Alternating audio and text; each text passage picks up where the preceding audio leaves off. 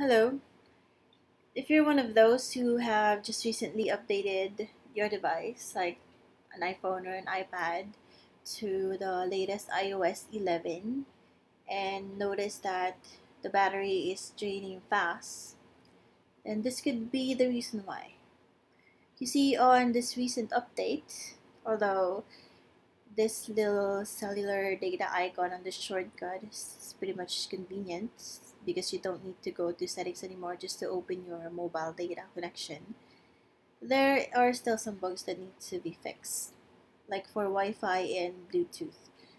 Turning them off from this shortcut here doesn't actually turn them off.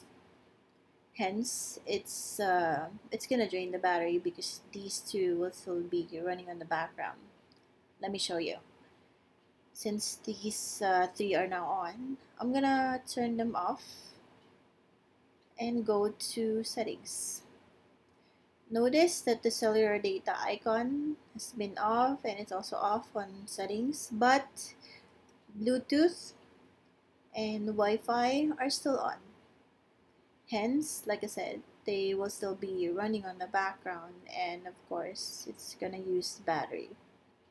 At this point, there's still no fix or solution to this, but I'm pretty sure some people have noticed that and may have reported it to Apple. But for now, just to make sure that these two are not using your battery, you need to make sure that they're completely turned off by going to settings and turning turning them off from here as well, not just the shortcut.